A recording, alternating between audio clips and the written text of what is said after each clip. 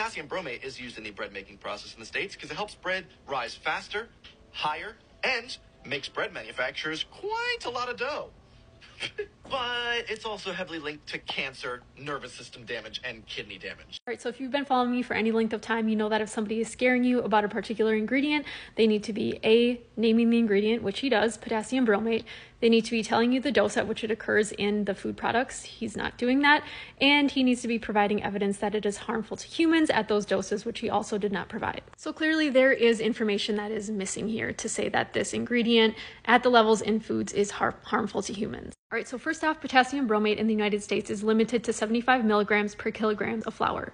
During thermal processing, such as baking, the bromate is reduced to bromide, which is a harmless form of the oxidizer. Now, bromate residues can still remain, and those are limited to 20 parts per billion. This level is 1,000 times lower than the amount that has been shown to be harmful to rodents in studies. This is a great example of how somebody can be saying things that are technically correct, but they are leaving out information that helps to understand the actual risk. And heavily relying on banned in other countries to imply that it's unsafe, which is a topic I've gone over many times on my page, and different regulatory frameworks in different countries can arrive at different conclusions on ingredients and result in different ingredients being banned.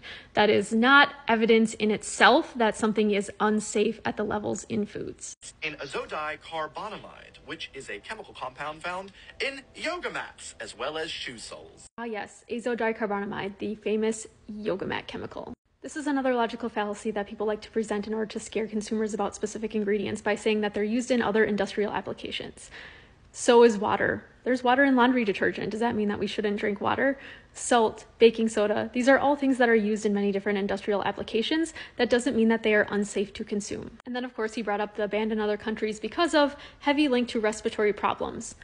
When inhaled, this has nothing to do with consuming the product. This is inhalation occupational exposure, which by the way can happen with pretty much anything that is a fine powder. So again, none of these things show that it is actually unsafe at the amounts in foods. Azodicarbonamide is limited to 45 parts per million in flour. So this ingredient upon baking can break down into other compounds that at high levels can pose a health risk, but the levels that are actually in foods are far below these harmful levels. Just always keep in mind dose, and if the person that is scaring you about an ingredient is not giving you dose, they're not giving you all the information because the dose matters for literally everything we consume, and everything that we consume can be potentially harmful at a high enough dose. And these are ingredients that have to be labeled as well, so if you do want to avoid them for any reason, they will be listed on the ingredient deck. Just be cognizant when people are omitting necessary information to assess risk.